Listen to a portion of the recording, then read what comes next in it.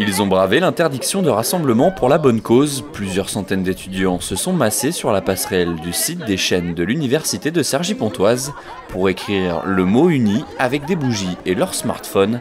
Ils avaient seulement quelques minutes, les rassemblements étant interdits par arrêté préfectoral. Défi relevé. On avait très peu de temps vu que la préfecture nous a interdit euh, de faire un rassemblement.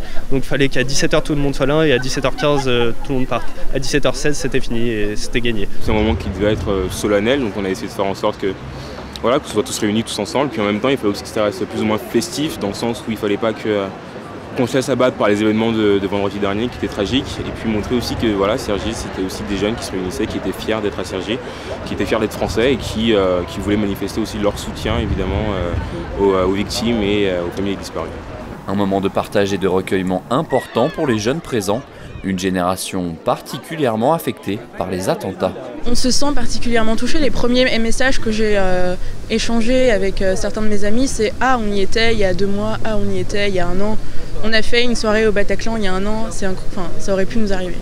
J'avais euh, donc des connaissances qui étaient dans le 10e arrondissement, qui ont été mis en quarantaine directement dans des bars. Et tout de suite, en fait, ça permet une identification. On a l'impression d'être touché un peu plus que Charlie Hebdo, c'était la liberté d'expression. Là, c'était nous, en tant qu'étudiants, en tant que personnes.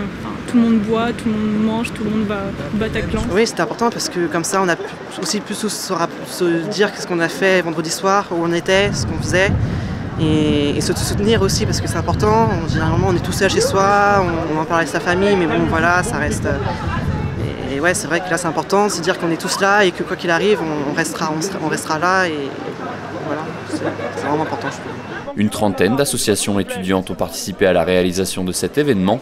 Au total, deux étudiants et une employée de l'université ont été blessés lors des attentats du 13 novembre.